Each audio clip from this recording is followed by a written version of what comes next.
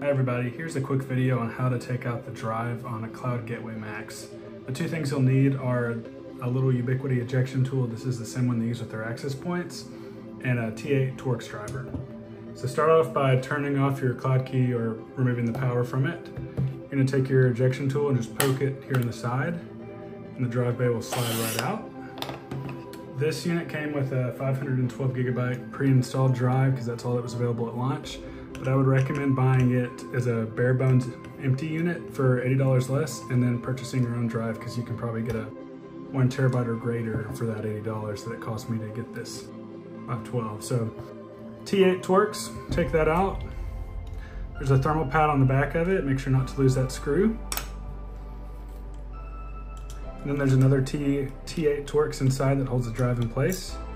Slide this out and then the drive will slide back and you can lift it out. Uh, this pre-installed drive is a Kingston PCIe Gen 4 512 gigabyte drive. Uh, and I think you should be able to get a one terabyte one, like I said, for $80 or less if you want to purchase this for 199 with no drive instead of 279 with the 512 gig.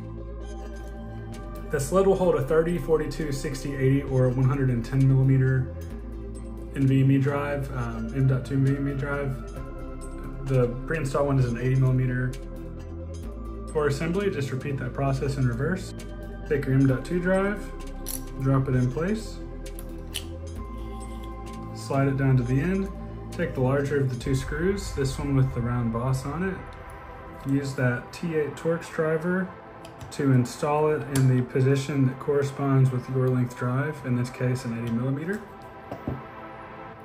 Take the cover, Drop that in place. Take the other T8 Torx screw, drop that.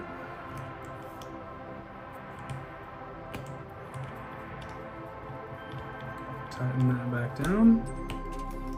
And then lastly, take your Cloud Gateway Max, slide it in there, press it in place, and we're done.